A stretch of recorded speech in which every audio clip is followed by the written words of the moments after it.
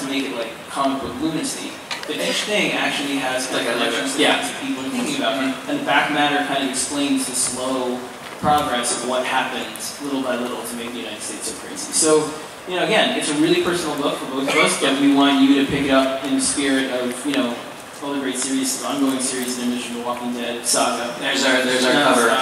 That's uh, Camo did that cover. And that just I mean it sort of says it all, right? Like Yeah. you know, there's the USA, but, but where is it? It's, it's where is it? Who knows? Uh, we. Um, but uh, yeah, it, it launches in November. Uh, it's gonna be it's gonna be a blast. We're we're all in. We're, we're sort of you know as, as Scott said, he used his carve out. We're both like super super. We have a lot going on, and so. That, that we decided to put our time and energy into this is, is meaningful to us, and we hope you'll, you'll like it too. And we're super grateful to Image, honestly. Yeah. Everyone's been so supportive and great with us, and uh, it's just a joy to, to have it. We're excited for sure. Thank you. All right.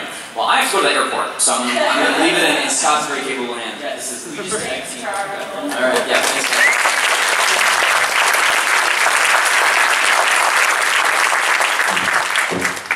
Once again, Charles proves that he's the hardest working man in comics. So.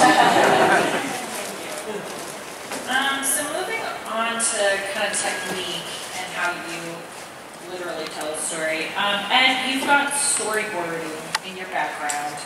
Um, we often see that in common with comics writers, but what are some examples of comic storytelling that allows you to storyboard um, that's different from movie storyboarding? Well, the way I'm doing it, uh, there's not too much difference. I write the books as uh, a series of uh, storyboards. I don't really mess around with uh, page layout because I'm trying to create a product uh, that's e- easy to read for pe- people that don't have uh, experience reading comic books.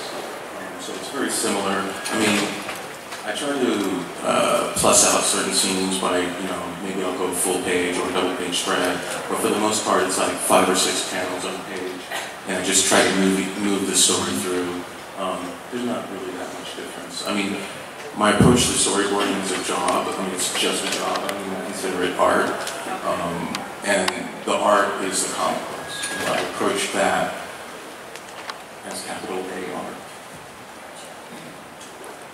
Is there a way that you'd like to, because I know a lot of times writers will format everything and they'll add in links like, I want this dog to look like this. Do you like doing that or do you just like letting your artist kind of go wild with what you're, I did it. I did it for years with Greg Capullo, and he never told me that the program he used to translate the scripts didn't show him any of that. so I remember one day